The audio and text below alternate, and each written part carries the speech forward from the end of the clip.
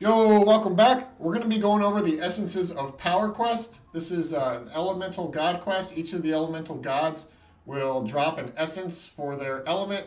Once you have all four, you can complete this quest. Um, there are five rewards, and you can kind of just cycle through all these, and you can pick whichever one you want. And we'll talk about how to do that um, here in a little bit. And if you're wondering how to get to this guide, go up to Items, Quest Items, Planes of Power, Essences of Power right here.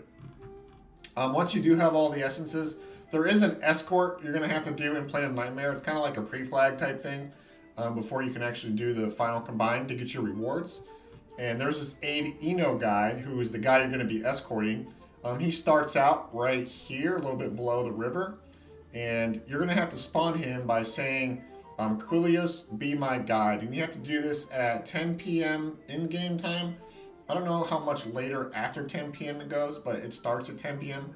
based on what I saw. And we'll go over the video where I actually go through the escort so you can see what it looks like.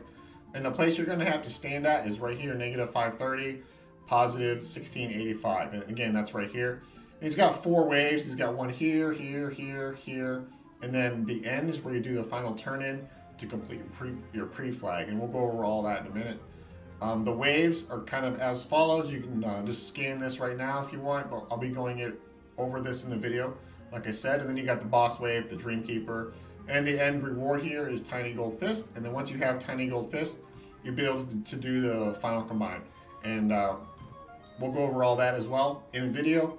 So uh, yeah, let's get over to the video. I'm just gonna do a voiceover for this. This is the clip of me just starting the quest. And I'm over here by the creek and I'm spamming Quellious be my guide right here.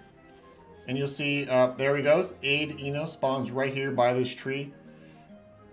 And he starts walking immediately. So you can actually do this in a DZ too if you want to. And pre-clear all the trash that uh, in his pathing area.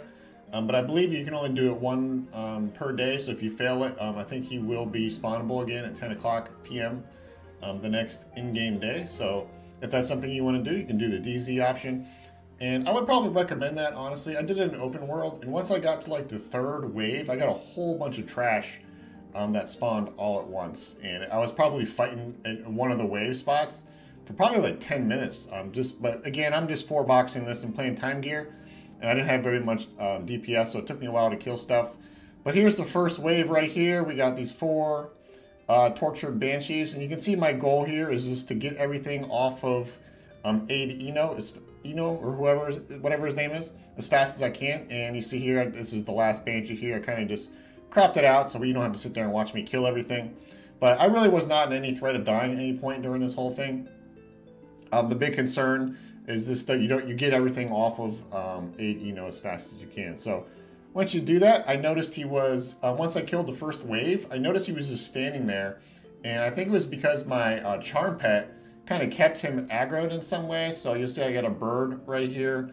Actually ended up having to kill my bird off. And as soon as I killed the bird off, um, he started uh, running again. So here you can see right here I killed it. And uh, now he finally started moving after I did that. So I think that's what bugged that out. So just a heads up, if you do have like an enchanter pet, uh, that may happen to you. Something to think about. And I just keep following along here. And I'm about to hit wave two. Uh, this is the uh, two Night Stalkers. Now these guys are level 60, and they were easy too, but they're a little bit higher than the rest of the mobs.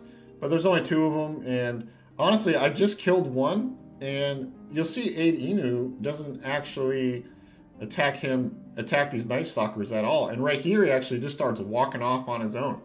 So I thought that was interesting. So I said, screw it. Um, I just memblurred um, the other Night Stalker right here, since he, since the Aid guy's not attacking it you know, it's like, oh, I'll just memblur it. So I mezzed it and memblurred it and left it be, and, he, and then I just able to keep on going. So um, here we are. We're about to hit the uh, third wave. Looks like I maybe just messed something up with my cropping there, but um, yeah. So here's the third wave, and there's what is it, five hobgoblins I think in this wave, and this is the wave where I was sitting here for like 10 minutes or so because I kept getting tons of ads that keep kept coming after me, and uh, um, having my enchanter was really, really nice because I was able just to mez everything, slow everything, and uh, yeah, it looks like I just kept, I cropped all that out, but you can just mez and uh, slow everything, and uh, you can just keep on moving after that. So just be aware that you may be fighting these for a little while with all the trash ads that show up. And this here, this is the fourth wave. And you just kill all of those. There's four banshees, three bats. Let's go back for a minute because I was kind of talking over that a little bit. So see there's four banshees here and there's three, four bats, three or four bats. How many bats are there? One, two, three. I think there's a fourth one right there. So it looks like a total of eight mobs. Um, yeah, so this is these are just part of the wave. So just try to get everything slow and mess and keep everything off of Adino as fast as you can. And after you kill this fourth wave, fourth wave here, this is the last mob, um, he actually stands around for a little bit. And um, I noticed he started attacking me. I must have accidentally attacked him at some point. But if this happens to you, you can Memblur him. So that's actually another reason to bring in Enchanter. Because um, otherwise you're going to either have to like run out of the zone and possibly bug out the event, or you may fail in some way if he gets aggroed on somebody. So make sure you don't aggro him, especially with uh, AE spells and things like that. So he sat around for a few minutes, and then um, after that, this Dreamkeeper spawned at the same spot that the Wave 4 spawns at. And this thing is incredibly easy. Uh, it, I think it hit for like 5 or 600, and it's slowable. So this is going to be an easy kill for you guys. Really nothing to worry about here. And you'll see we about have it dead. And then after this dies, he'll stand around for like another minute or two. And then he will start walking towards the uh, towards the plane of tranquility zone to zone out. And once you do kill this named, make sure you loot this uh, strand of nightmare right here, like I did. And you're going to actually turn this in to aid Eno, Inu or whatever, at the uh, last part. So you'll see down here, he'll if you look at the website, you'll see the emote he asks. He actually asks for this strand. He goes, give me the strand. And once he's here standing there, you can give him the strand. He'll despawn. And you'll see now I have um, a tiny gold fist in my inventory. So at this point, uh, you're done with the escort, and you can come up here to the top of the library and talk to this councilwoman Kishira. And I say, what essences of power? There we go. And then it gave me this four slot container. And I was trying to make some room here. I figured out I didn't have any room. So I crop it. There we go. We got some room. So now you can put all four of your essences into the container you got, which is called a sacred bowl.